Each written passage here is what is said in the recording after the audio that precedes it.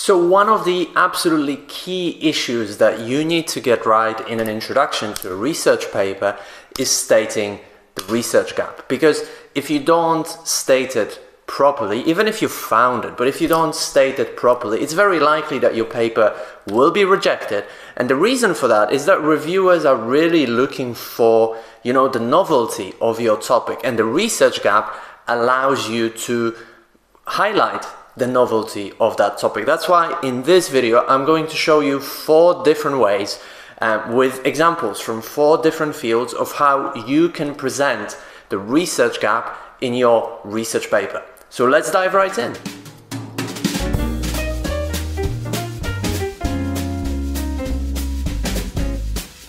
So to illustrate how important clarifying the research gap is for your paper, um, let me give you a personal example. Recently, I submitted a paper to one of the top journals in my field, teaching English. And the paper was not rejected, but it came back with major corrections. And one of the key issues that both reviewers pointed out was that they could not really see the novelty of your topic.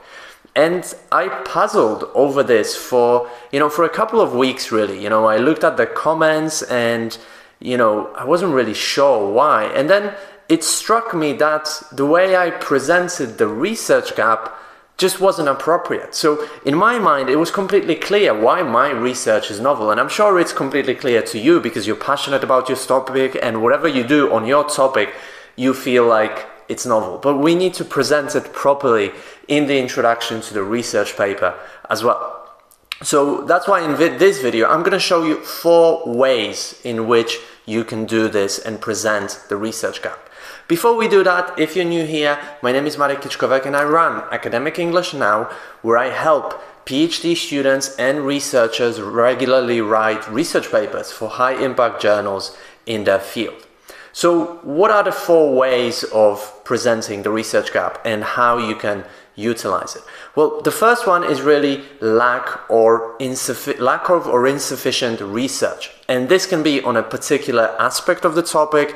This can also be to do with um, you know, with um, geographical area that there haven't been enough studies in a particular location, uh, on a particular group of people, on a particular material, or so on. But the basic premise is that there are just is aren't insufficient studies, or there is a lack of studies on that particular topic. So, with that said, let me show you an example um, of this and how it is actually presented in research papers.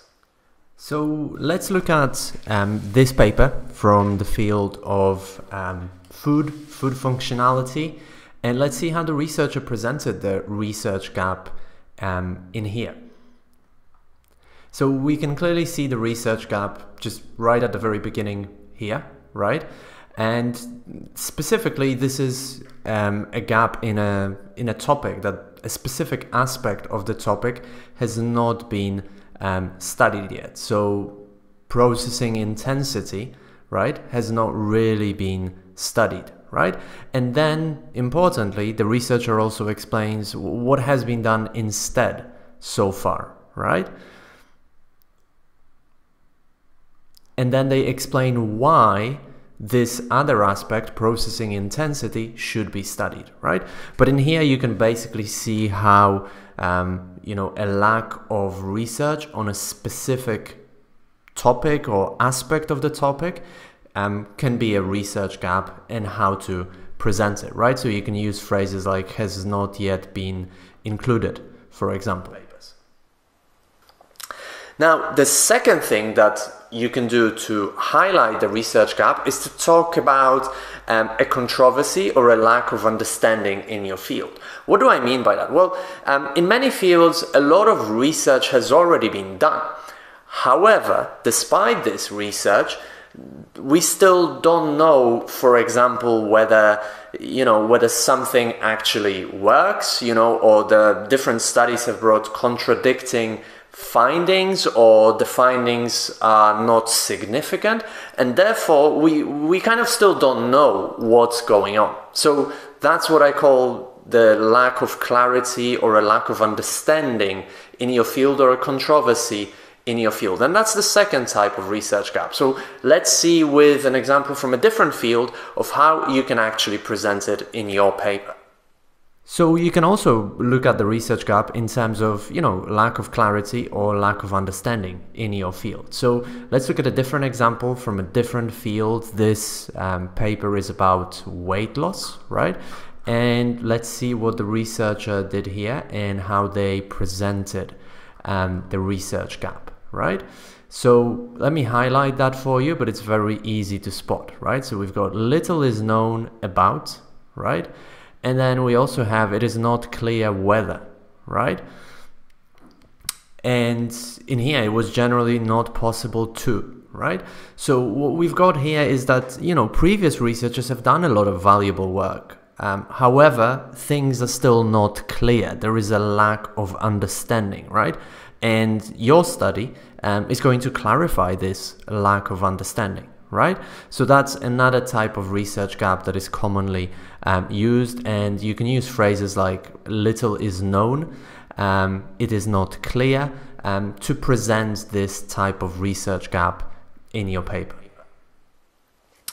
Now, the third way in which you can present the research gap um, in your paper is to point out the limitations of previous studies. So each study, no matter in which journal it was published, how good it was, will always have some limitations. You know, to give you one example, um, in some fields, um, people tend to use a very small sample size, right?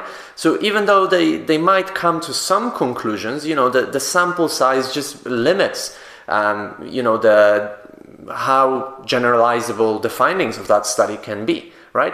And therefore, we can point out these limitations in order to justify our study, right? So again, let's look at a practical example. Let's see how this is actually done in a research paper.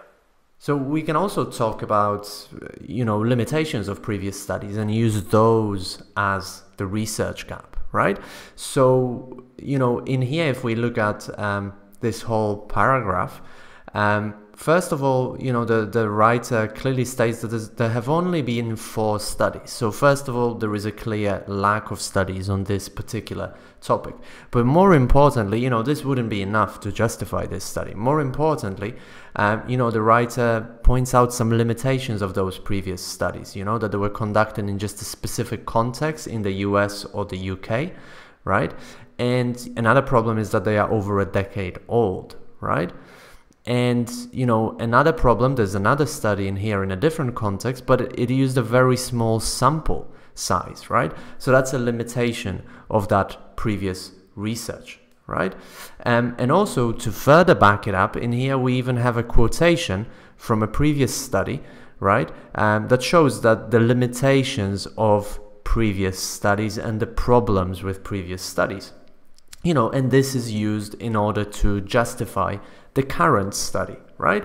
So you can you, you can talk about the limitations in order to give justification for your study because your study aims to solve these problems of previous studies. Now, the fourth type of a research gap that you could also use to justify your study is sort of a real world problem that needs solving right? So this is really good if you've got, you know, if you're writing on something that has practical implications. Um, it's it's a problem that people out there in the real world are actually struggling with, right? And you know, you can point out that.